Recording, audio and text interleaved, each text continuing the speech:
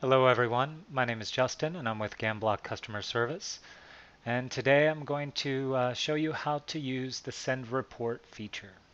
Send Report is one of the most important features of Gamblock because it allows customers the opportunity to submit a report um, about a site that was blocked for our programmers to review. When the reports come in, our programmers will then take a look and determine whether or not uh, the site should continue to be blocked and will make changes to the program if it should be uh, unblocked. Uh, Gamblock does not use a list of sites to determine what should and should not be blocked. So therefore, uh, instead it uses uh, sophisticated uh, heuristics to determine whether or not a site should or should not be blocked. When customers use the send report feature, it allows us to improve those heuristics of the program so that if a site should not be blocked, it can be unblocked. So here we're going to go and I've spent uh, several hours locating a site that's blocked that should not be. We're going to go to the gold task site here. You'll see when it pulls up, um, you'll see that uh, Gamblock will shut it down. But inside the box, there's a smaller little box that says send report. And when you press that, it'll open a new window. And inside this new window, you're given the opportunity to enter in your transaction ID um, and your email address. Um, Please do not use the Gamblock, a Gamblock email address used in this video as uh, the email uh, correspondence that will come from our programmers will go to the email address that you enter uh, at this point.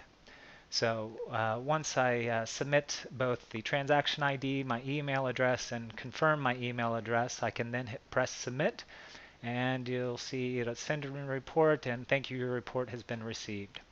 Um, so now what will happen is we'll wait for the programmers to go ahead and uh, uh, review that site that we've submitted and we should receive an email uh, from them either stating that uh, this is the reason why this site is blocked and will be continued to be blocked or we'll get something along the lines of thank you for using send report your version is out of date uh, meaning that changes have been made to the program so when we pick back up, we'll see uh, what uh, the email correspondence from the programmers is. Here we have uh, an email that come that came from the programmers, and we'll see that it says, uh, "Dear customer, thank you for using Send Report. Your version is out of date," meaning they have made changes to the program.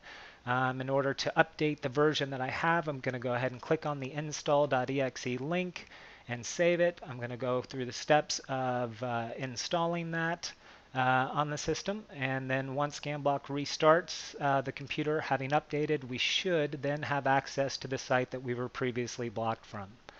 Um, all right, so Gamblock's just restarted the computer, and now we're going to go ahead and check and see um, whether or not we have access to this site now or not. So we'll go back to the Gold Task site and uh, see if we now have access. Okay click on this again, just where we were before. And here we are. Now we have access to the site. We've successfully used the send report feature, had the program updated, um, and uh, now in the future will not be blocked from sites like such as this one in particular and any others similar.